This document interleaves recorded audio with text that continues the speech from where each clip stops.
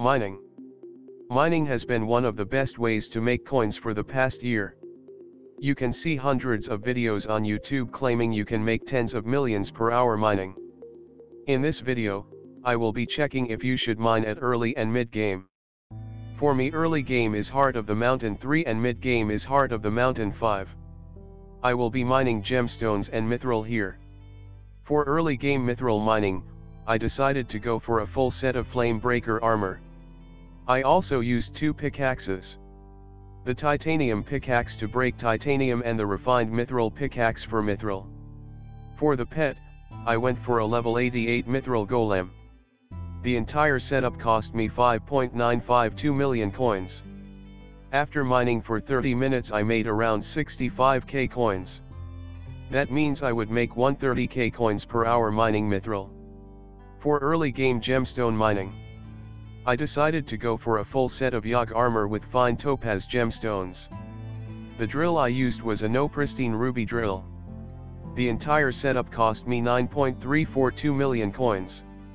After mining for 30 minutes I made 175k coins from the gemstones. That means I would make 350k coins per hour mining gemstones. For YouTube mining I decided to go for a shameless plug where I tell you guys we are very close to 500 subs and at 500 subs I will be doing a voice reveal. So please sub. For mid-game mithril mining, I decided to go for a full set of sorrow armor with all fine gemstones. The drill I used was a compact 6 fruitful titanium drill DRX 355. For the pet, I went for a level 88 mithril golem. The entire setup cost me 63.2 million coins. After mining for 30 minutes I made 276k coins from the mithril. That means I would make 552k coins per hour. For mid-game gemstone mining, I decided to go for a full set of sorrow armor with all fine gemstones. The drill I used was a pristine 3 topaz drill. For the pet, I used a level 82 Bal. The entire setup cost me 80.85 million coins. After mining for 30 minutes I made 500k coins from the gemstones.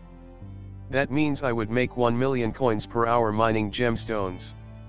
As you can see mining mithril at early or mid game is not profitable at all, I would recommend you grind until Heart of the Mountain 6 then buy a full set of Divan armor and a gemstone gauntlet with all flawless gemstones and a Bal pet, and start mining topaz. If you are not sure about how much money you will make mining I would recommend using this formula.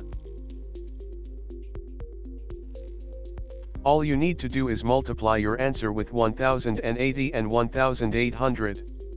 You will get two values which are the average and highest possible number of coins you can make per hour. Shout out to SparkNights for this fairly accurate formula. But if you don't want to grind to Heart of the Mountain 6, and want other methods that make a lot of money I would recommend. Dungeons. Zealots. Bazaar flipping and AH flipping.